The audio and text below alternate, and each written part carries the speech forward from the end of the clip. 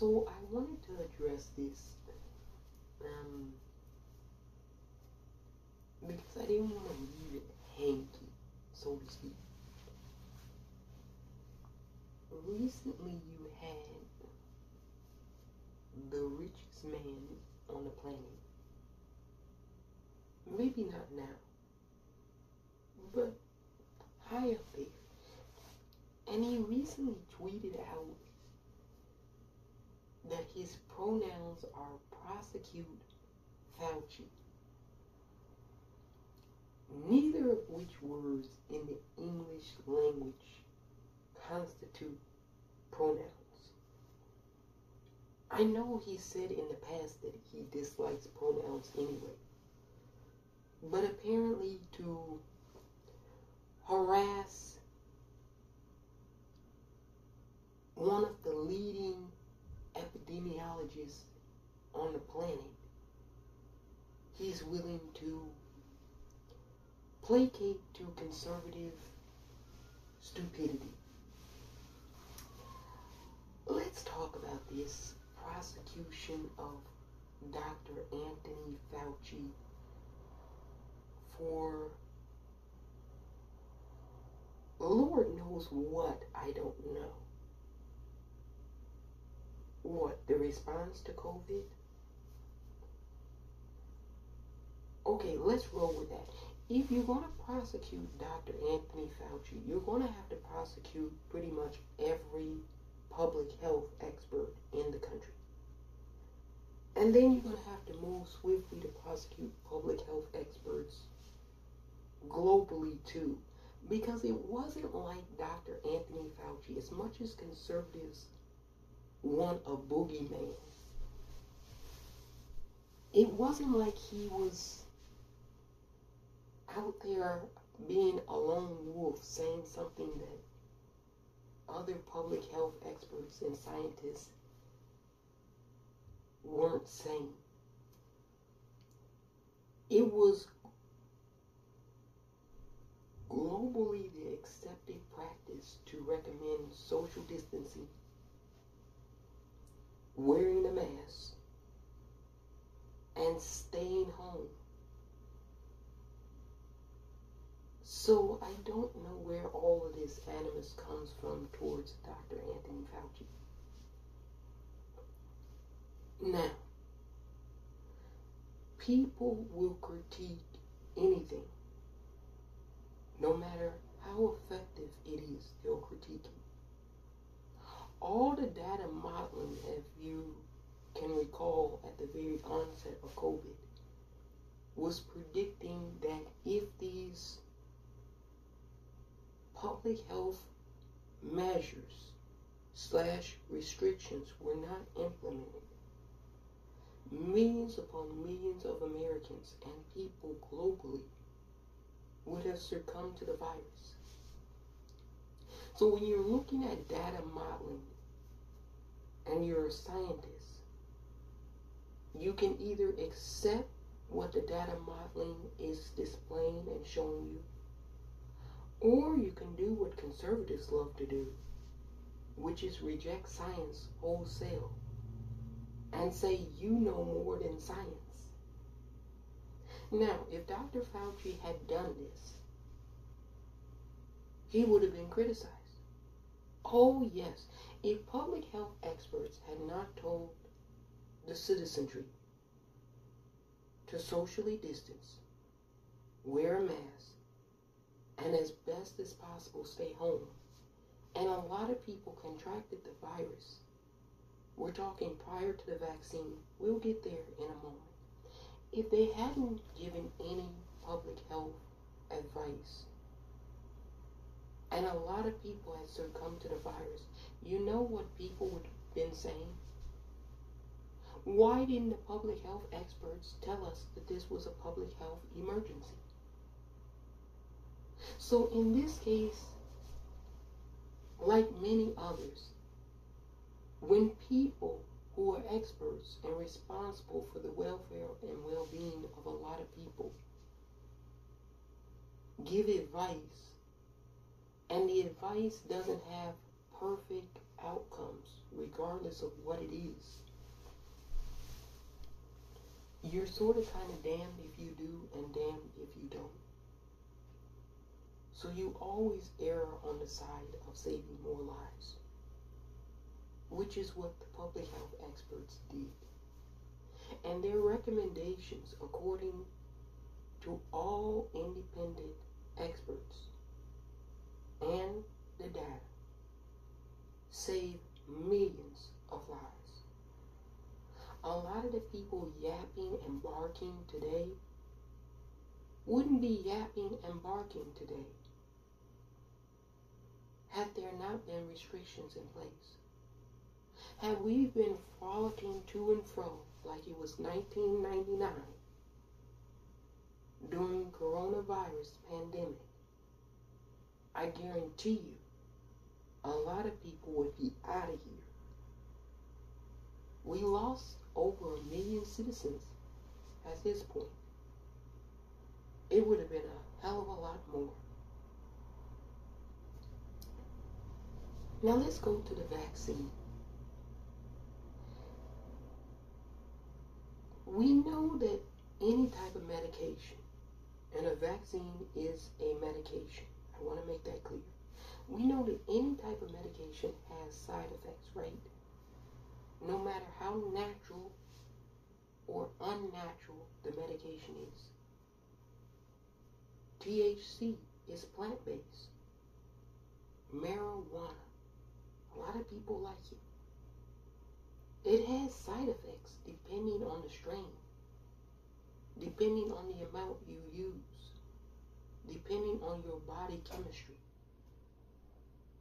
vitamins, supplements.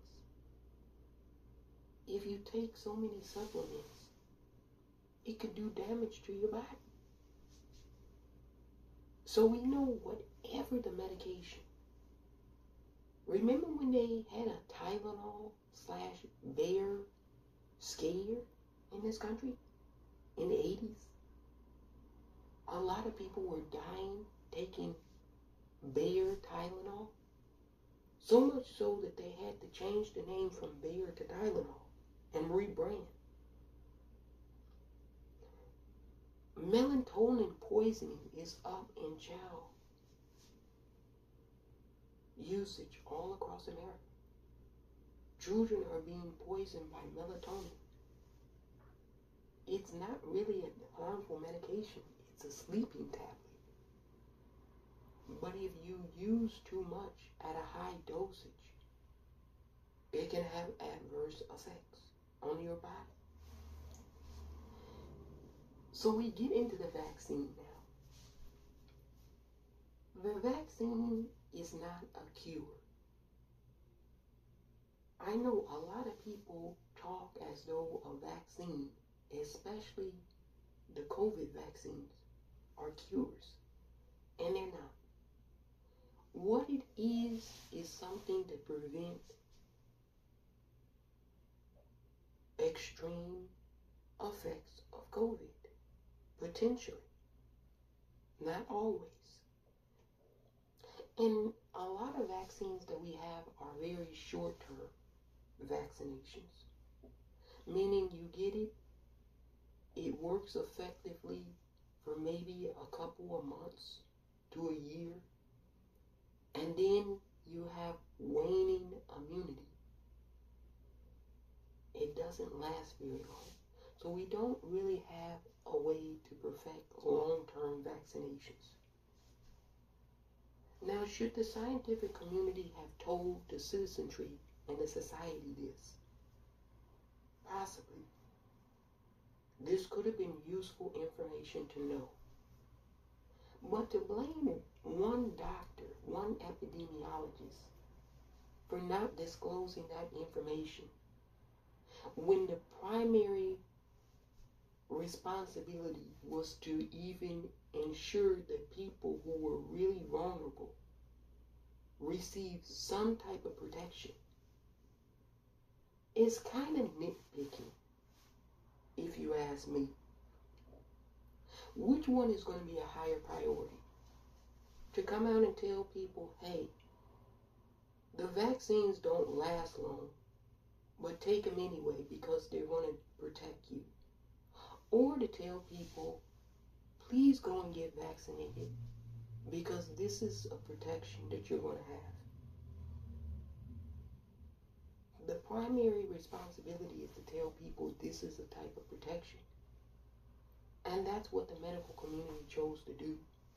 Rather than focus on how often you would need to get vaccinated, how long the vaccinations last, what the side effects of the vaccination would be on some people. All of those things are reasonable for people to say, hey, this is information I would have liked to have known. It's reasonable to say that. But when you have a general society who knows they need a medication in order to remain living, and so many people not wanting to do it just because they want to be contrary and stubborn, and then telling other people on the internet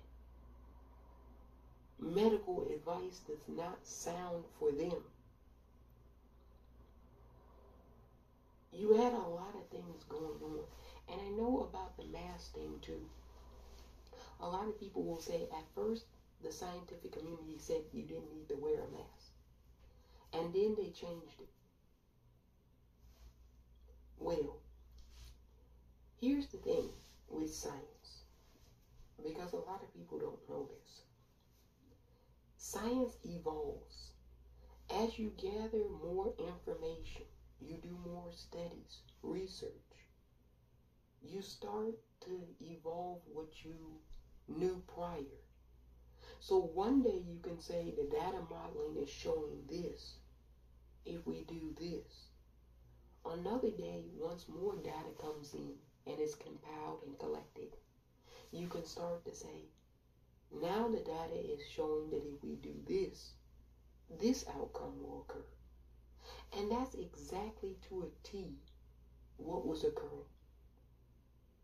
Look, Dr. Anthony Fauci nor any doctor on the planet Earth had all the information about COVID at the onset, and most still don't to this day. Remember, please try to remember this. COVID 19, COV SARS 2, is a novel virus. Do we know what the word novel is? Something new, unique, something not seen before. So if you have a brand new virus, what's the likelihood that your information at the onset is going to be good or sufficient or completely accurate? When something is novel to begin with. Can we please try to use a little brain power here? A little rational common sense?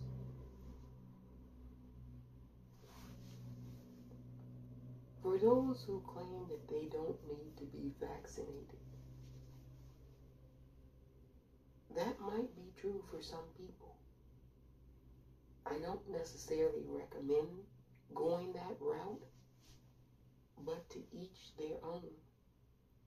What I didn't like is folks who hopped on the internet, shared outlandish conspiracy theories about the vaccine, instructed other people who the vaccine would have been beneficial to and strongly encouraged them not to be vaccinated because they claim they didn't need to be vaccinated.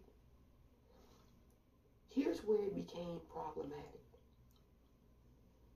You might not need to be vaccinated. But you know there's a lot of people in the general society that do.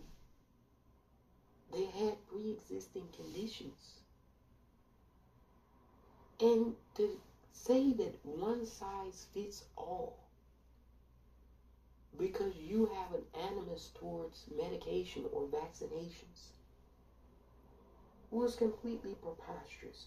And the folks who did this, I'm not going to name names, the folks who did that know they were totally out of pocket. Now they'll say, well, the scientists and professionals were saying that everyone needs to be vaccinated, and that's not true either. In large part, the vast majority of the society did need to be vaccinated. More so than the people who didn't. That's a fact. That's a fact. When you have an elderly population, as many Western societies do, those people definitely needed to be vaccinated. And the reason a lot of them are still around is because they received vaccination. This, a lot of the critics of the vaccine don't want to admit. They'll share outlandish conspiracy theories about people suddenly dying and try to link that to the vaccine without any medical proof. But they won't share all the millions upon millions of people who would not be here had it not been for the vaccine. They'll share stories about young people, men in general, who have contracted myocarditis and say that it's linked to the vaccine. But they won't share all the millions of people around the world who have died because they didn't receive a vaccine. So, going back to what I said earlier, you're sort of kind of damned if you do and damned if you don't. So, as an epidemiologist looking at data, you have to do what you think is best according to the data. But data changes. It does. Should everyone who received a vaccine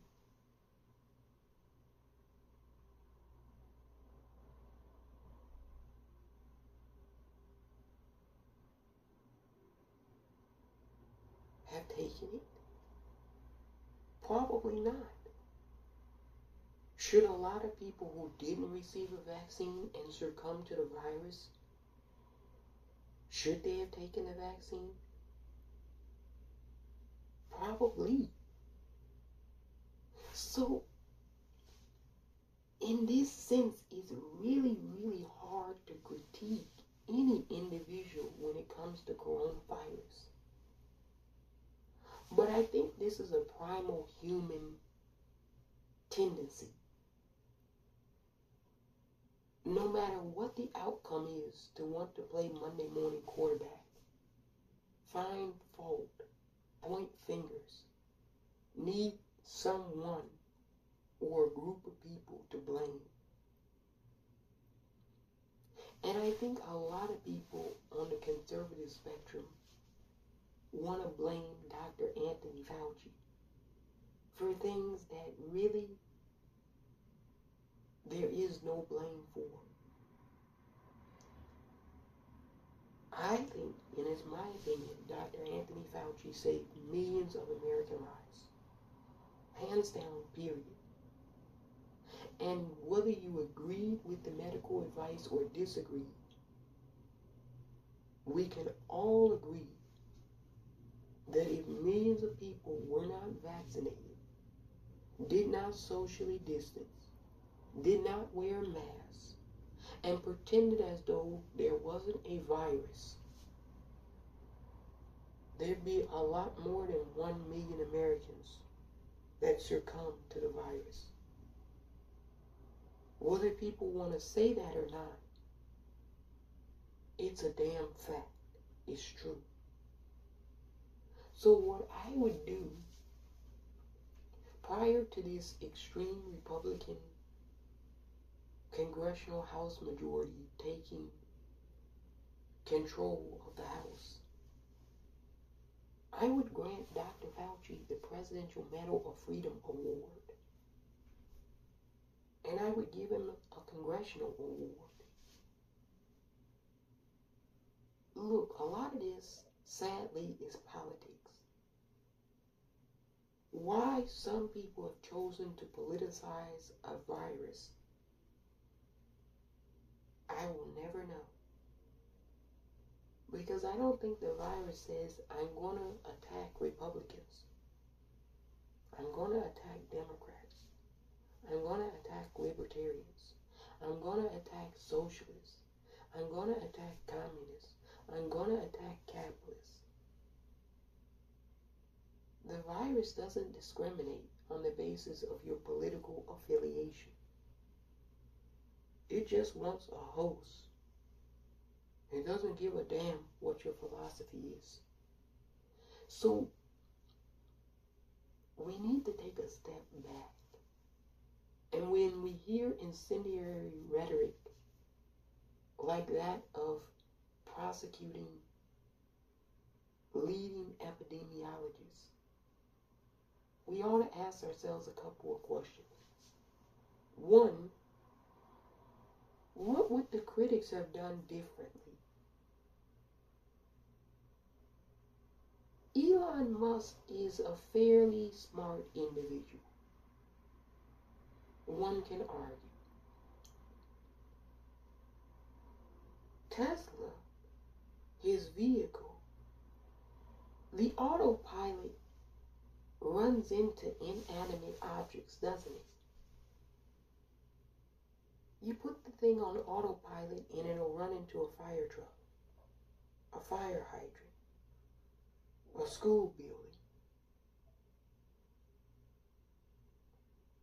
It's not perfect, is it? There's still some kinks that need to be worked out with that autopilot in Tesla. Neuralink. You know, the chip that they want to put in your brain. They make you a half cyborg apparently the research has been atrocious when it's been conducted in chimpanzees. So, when you're dealing with complicated things, you're going to have adverse effects, is my point, regardless of what it is. And for one person to sit there and criticize another person as though all of their inventions are managed perfectly and have no flaws really is ludicrous and laughable, to say the least. Elon Musk is not a medical expert. He doesn't know a damn thing about epidemiology. So I'm not going to listen to someone who's out of their league give advice about something that he doesn't know what he's talking about. we really have to analyze this from time to time. When people want to stray into another lane that they really don't know anything about.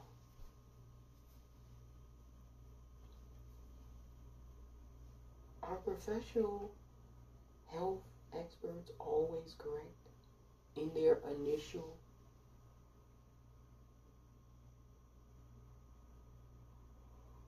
publications to the general society? No. That's why you have peer review, data collection, compiling data, analyzing it. All of that takes time. And science is one of those things that evolves and needs to be updated. Just like your phone gets updated, Science gets updated constantly. We're constantly learning new things about coronavirus. It's constantly updated, adapting, mutating. So our science has to do the same thing. In a lot of cases, because we don't know the original origin, it's hard to gain a grasp as to what truly would be the most effective thing. But the tools we do have available, the public health experts have advised us to utilize. I think that's kind of smart, especially when you're dealing with a living organism, which is what a virus is.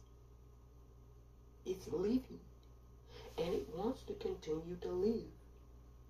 And I say this oftentimes as long as we have so many irresponsible people in our society, and we do, then this virus is going to continue to mutate and live. Look, folks can go outside and pretend it's 1999 all they want. You can pretend that the sun doesn't exist, the world is flat, and that you can do whatever you want in the era of COVID.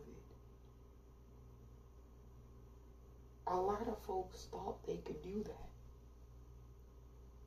And they paid the ultimate price. They transitioned to the other side.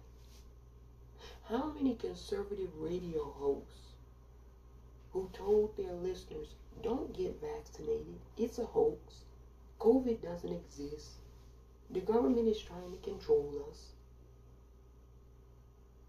How many of those people succumbed to the virus? I was doing stories and I have some videos. Mr. Anti-Vax out in Florida. He made a whole name for himself on the radio saying, don't get vaccinated. Contracted the virus. Unvaccinated. And he succumbed to the virus. This is a fact. Millions of people have lost loved ones as a result of the virus.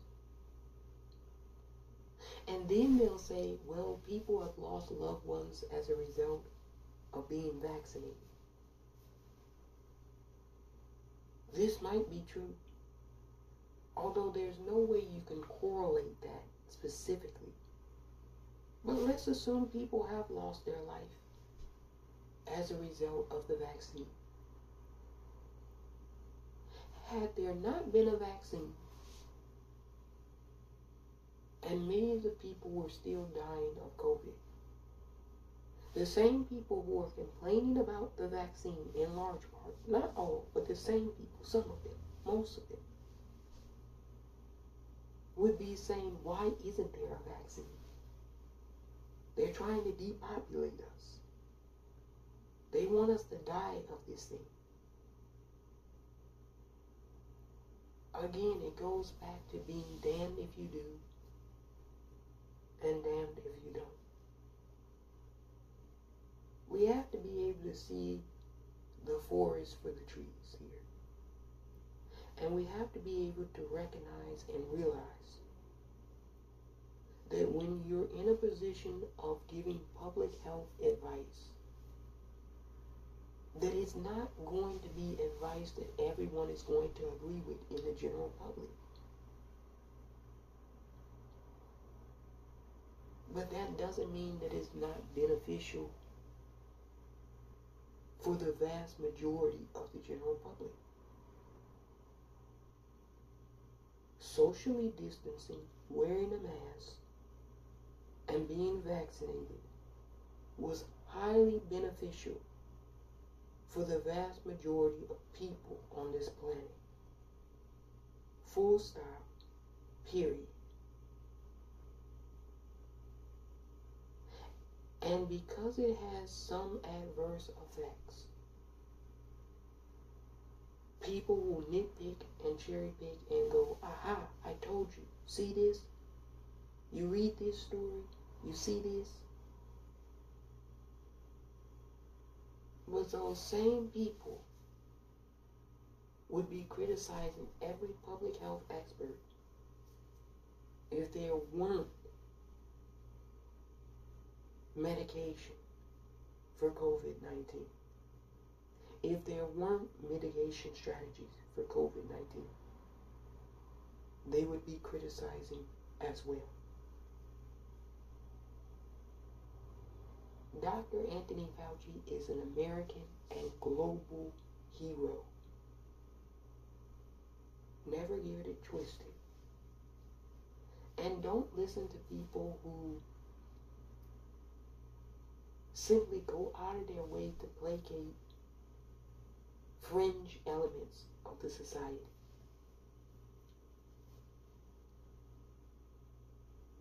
That's dangerous, it's irresponsible, and above all else is pure plain ignorance. I found Elon Musk's comments to be completely ignorant and void of any wisdom. Is purely placating to fringe elements of the society. It contradicts science. It contradicts the outcomes that actually occur in our society.